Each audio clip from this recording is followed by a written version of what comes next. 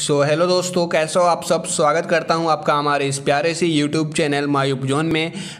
And आज इस Patna university entrance exam का जो प्रिपरेशन मैं करवा रहा हूँ उसका आज उसका आज नेक्स्ट लेक्चर होने वाला है तो आप लोग पूरी वीडियो में बने रहना।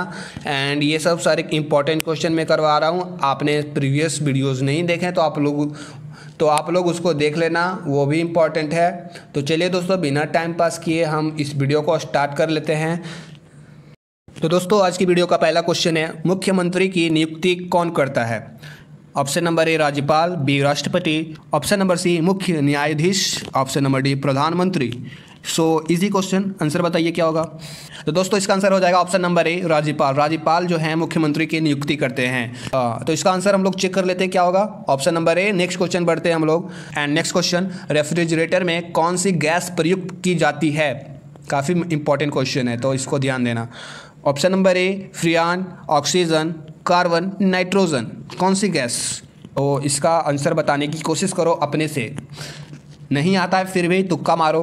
तो दोस्तों, इसका सही आंसर हो जाएगा ऑप्शन नंबर ए, फ्रियोन, ठीक है? याद कर लेना इंपॉर्टेंट क्वेश्चन है। One of the most important question next question हम लोग देख लेते हैं। एंड नेक्स्ट क्वेश्चन आपका है कि असमीय भाषा में मुद्रित प्रथम पुस्तक के लेखक कौन थे? असमीय भाषा में मुद्रित प्रथम पुस्तक के लेखक कौन थे?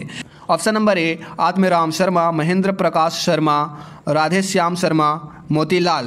क्या हो जाएगा इसका आंसर? गेस करिए। तो इसका आंसर हो जाएगा Atmaram Sharma. Option number A, याद कर लेना नेक्स्ट क्वेश्चन एंड ये नेक्स्ट क्वेश्चन भी काफ़ी इंपॉर्टेंट है। लोहे पर जंग लगने का उसका भार। ऑप्शन नंबर ए, बढ़ता है। ऑप्शन नंबर बी, अत्यधिक बढ़ता है। ऑप्शन नंबर ती कम हो जाता है। ऑप्शन नंबर डी, ज़्यादा हल्का हो जाता है। जब लोहे पर जंग लगता है तो क्या होता है? लोहे का भार बढ़ता है, बहुत ज़्यादा बढ़ जाता है, बहुत कम जाता है, थोड़ा सा कमता है। क्या होता है आंसर बताइए? और और सोच समझ के आंसर दीजिएगा। काफ़ी इंपॉर्टेंट क्वेश्चन है एंड काफ़ी ईजी भी है। जल्दीबाजी में गलती करने की कोई ज़रूरत नहीं है। तो तो दोस्तों, बहुत लोगों ने आंसर दिया होगा कि इसका भार कम हो जाता है, लेकिन आपका सोचना बिल्कुल गलत है। इसका भार कम होने की वजह और बढ़ जाता है। ऑप्शन नंबर ए आपका सही हो जाएगा, बढ़ता है। और ज़्यादा नहीं बढ़ता है लेकिन बढ़ता ज़रूर है। एंड ऐसा क्यों होता है? इसमें जो ऑक्सीजन का मात्रा जो होता है, इसमें ऐड हो जाता है जब जंग लगता है लोहे पर तो इसीलिए ये बढ़ जाता है। तो इसका सही आंसर हो जाएगा ऑप्शन नंबर ए। ऑप्शन देख लेते हैं क्या हो जाएगा, चेक कर लेते हैं। ऑप्शन नंबर ए सही है। नेक्स्ट क्वेश्चन हम लोग देखते हैं। विश्व में नेक्स्ट क्वेश्चन विश्व का सबसे बड़ा नदी द्वीप, माजुली।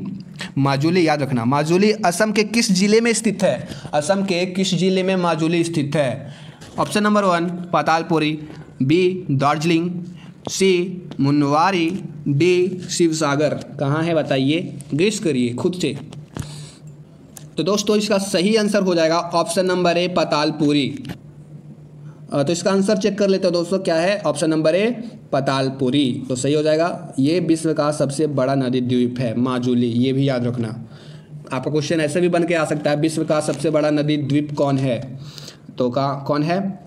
तो कौन है? माजुली। और कहाँ स्थित है? तो असम में। असम में कहाँ? पतालपुरी में। याद रखना, ठीक है? ऐसे करके याद हो जाएगा आपको।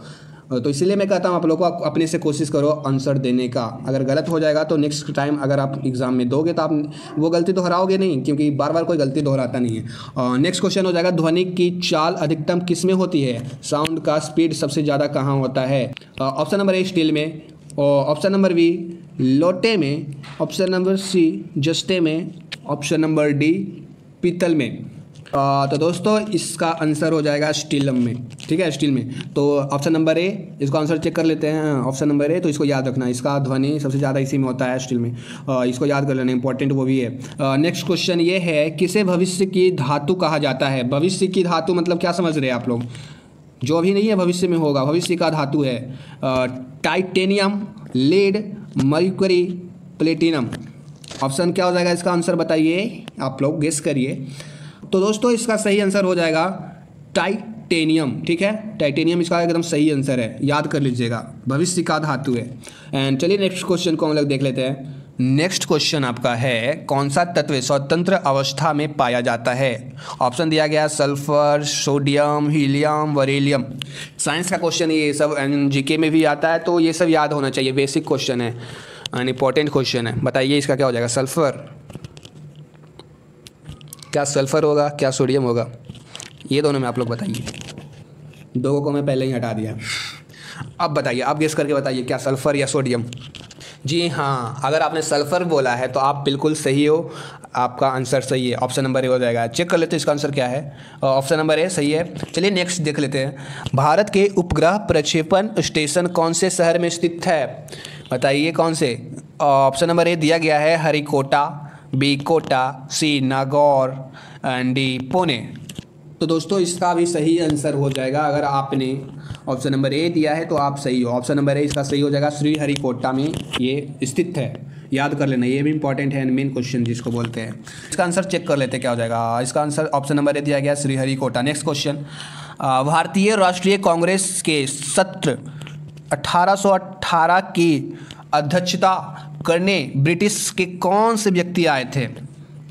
वो ब्रिटिशर्स कौन थे? अंग्रेज़ कौन थे? ऑप्शन नंबर ए दिया गया है जॉर्ज यूले, बी दिया गया है लॉर्ड डार्विन, सी दिया गया है टॉम डी एंड डी दिया गया है जॉर्ज डॉन। कौन था वो अंग्रेज़ जो अध्यक्ष बनने आया था कांग्रेस का इंडिया में 1818 ईस्वी में? तो दोस्तों, अगर आपने ऑप्शन नंबर ए बोला है जॉर्ज यूले को तो एकदम सही हैं आप। सही आंसर ऑप्शन नंबर ए हो जाएगा। चेक कर लेते हैं इसका आंसर ऑप्शन नंबर ए चलिए नेक्स्ट क्वेश्चन पे बढ़ते हैं। नेक्स्ट क्वेश्चन आपका आ जाएगा, सार्वजनिक खर्चे पर नियंत्रण संसद नियंत्रक तथा किसके माध्यम से करती है? वो माध्यम मीडियम क्या है? पहला है महालेखा परीक्षक बी है लेखाकार सी है आयकार एंड डी है प्रशासनिक अधिकारी। तो इसका आंसर क्या हो जाएगा? गेस करिए, आप लोग बहुत अच्छा क्वेश्चन है, बहुत अच्छा भी वी आई तो जी हाँ दोस्तों, इसका आंसर हो जाएगा महालेखा परीक्षक जो है, इसका माध्यम है, नियंत्रक। किसका? सार्वजनिक खर्चे पर नियंत्रण संसद नियंत्रक का ठीक है? नेक्स्ट क्वेश्चन एंड इसका आंसर चेक कर लेते हैं। ऑप्शन नंबर ए होना चाहिए सही है? चलिए नेक्स्ट क्वेश्चन देखते हैं। नेक्स्ट क्वेश्चन आपका दिया गया है एक एक्सेल वर्कशीट में कॉलमों की संख्या अधिक से अधिक कितनी हो सकती है? आ, तो एक्सेल आप लोग चलाए होगे अपने लैपटॉप कंप्यूटर पर नहीं चलाया फिर भी याद कर लेना इस इसी वीडियो में। अगर नहीं अगर नहीं पता है तो। तो दोस्तों, इसका आंसर हो जाएगा ऑप्शन नंबर ए दो सौ छप्पन, अधिक से अधिक मैक्सिमम ओके दो सौ छप्पन हो सकते हैं कॉलम ठीक है? याद कर लेना। इसका आंसर चेक कर लेते हैं option number A next question पृथ्वी के सबसे निकट तारा कौन सा है? बताइए। सबसे जो पृथ्वी अपना ग्रह है, उससे सबसे जो निकट, सबसे नियर में कौन सा तारा है? शनि, शुक्र, सूर्य, यम। कौन सा तो दोस्तों, क्या हो जाएगा? दो को मैं पहले हटा देता हूँ, आपके पास फिफ्टी फिफ्टी वाला ऑप्शन छोड़ देता हूँ। शुक्र एंड शनि को हटा दीजिए, ये और आपके पास बच जाएगा सूर्य या यम। फिफ्टी फिफ्टी है, कोई एक सही है तो कौन होगा वो? जी हाँ दोस्तों, अगर आपने ऑप्शन नंबर सी आपने सन या सूर्य को चुना है तो आप बिल्कुल सही हो, आपका आंसर हो जाएगा ऑप्शन नंबर सी सूर्य। एंड चेक कर लेते इसका आंसर ऑप्शन नंबर सी, चलिए नेक्स्ट क्वेश्चन देख लेते हैं। और नेक्स्ट क्वेश्चन है आपका साइंस फ़ील्ड से। नेक्स्ट क्वेश्चन आपका है यूरेनियम कॉरपोरेशन ऑफ़ इंडिया कहाँ स्थित है? Uranium corporation of India option number A दिया गया है जादूगोड़ा में बी दिया गया है कानपुर में सी दिया गया है पुणे में एंड डी दिया गया है सिक्किम में। कौन सा हो जाएगा? कहाँ स्थित है ये? आंसर देने की कोशिश करिए, अगर नहीं पता है फिर भी। आपसे मैं हाथ जोड़कर विनती करता हूँ प्लीज़ अपने आप से आंसर देने की कोशिश करिए एंड टेंशन नहीं लीजिए, आपका पीडीएफ आपको मिल जाएगा डिस्क्रिप्शन में, ठीक है? तो इसका आंसर क्या हो जाएगा? दोस्तों, इसका आंसर हो जाएगा आपका जादूगोड़ा में। ये जादूगोड़ा में स्थित है uranium corporation of India okay U C I next U C I and इसका answer U C I and इसका आंसर चेक कर लेते हैं ऑप्शन नंबर ए सही है। चलिए नेक्स्ट क्वेश्चन भारत का पहला परमाणु रिएक्टर है। वो कौन सा है? क्वेश्चन पूछ रहा है। आपका हो जाएगा उर्वशी अप्सरा मेनका कन्वे।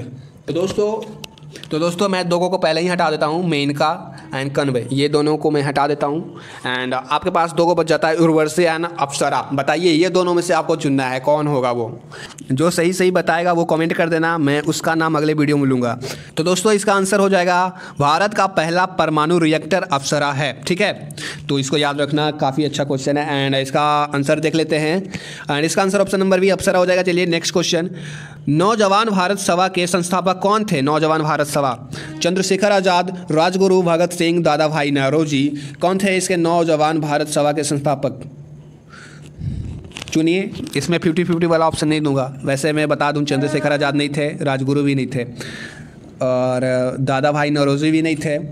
तो आपका कौन थे? भगत सिंह। बच गए कौन? भगत सिंह। तो भगत सिंह ही थे जो नौजवान भारत सभा का संस्थापना किए थे, ठीक है? याद कर लीजिएगा option number C next question राज्यपाल को शपथ राज्य के उच्च न्यायालय का कौन व्यक्ति दिलाता है?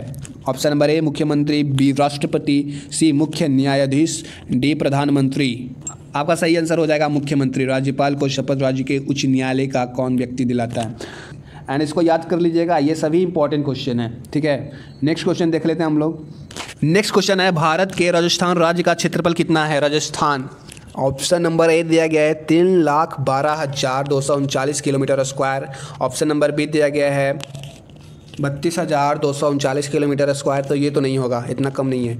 एंड ऑप्शन नंबर सी दिया गया है, तीन लाख बत्तीस हज़ार दो सौ उनचालीस kilometre square option number D दिया गया है, तीन लाख बयालीस हज़ार दो सौ उनचालीस किलोमीटर। तो तो इसका सही आंसर क्या है आप लोग बताना कमेंट में।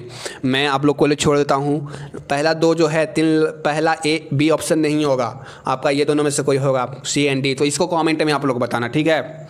चलिए नेक्स्ट क्वेश्चन हम लोग देख लेते हैं। अब एंड नेक्स्ट क्वेश्चन है हर्षवर्धन अपनी धार्मिक सभा कहाँ किया करता था? कहाँ क्या करते थे? uh, तो ऑप्शन दिया गया है मथुरा में। नंबर बी दिया गया है प्रयाग में C Varanasi option number D Tamralipti में। तो आंसर क्या हो जाएगा इसका? इसका सही आंसर हो जाएगा आपका प्रयाग में किया करते थे। हर्षवर्धन अपनी धार्मिक सभा प्रयाग में किया करते थे, ठीक है? नेक्स्ट क्वेश्चन एंड आज की वीडियो का लास्ट क्वेश्चन है। एक महान रोमनी नाटक कदम्बरी का लेखक कौन था? ये शायद मैंने करवाया था ना? ये फिर से आ गया। और तो बता दीजिए रिवीजन हो जाएगा आपका। वन भट्ट हर्षवर्धन, भास्कर वर्धन एंड बिंदुसार शायद ये आपको याद आए। मैंने प्रीवियस वीडियो में करवा रखा है इस इस क्वेश्चन को। जी हाँ दोस्तों, अगर आपने सही बोला है ऑप्शन नंबर ए तो सही है आपका। बनवट जो थे, इसके लेखक थे। एंड ये आज की वीडियो का लास्ट क्वेश्चन था। तो यही था दोस्तों, आज की वीडियो का सारा क्वेश्चन अगर आपको वीडियो अच्छा रहा सा भी लगा हो, ये हेल्पफुल लगा हो तो आप लोग इसको शेयर करना अपने दोस्तों के साथ। ये जीके सभी चीज़ के लिए इंपॉर्टेंट है। आपका जो SSC railway banking and other competitive exams and entrance examinations के लिए बीएचयू हो गया, आपका दिल्ली यूनिवर्सिटी पटना यूनिवर्सिटी सभी इंट्रेंस एग्ज़ाम के लिए बहुत इंपॉर्टेंट है। तो शेयर करिएगा, अगर अच्छा लगा है थोड़ा सा भी तो लाइक कर दीजिएगा एंड चैनल को सब्सक्राइब करना मत भूलिए एंड बेल आइकन को प्रेस कर दीजिए। चलिए मिलते हैं नेक्स्ट वीडियो में नए टॉपिक के साथ। तब तक के लिए अलविदा, पढ़ते रहिए एंड आगे बढ़ते रहिए।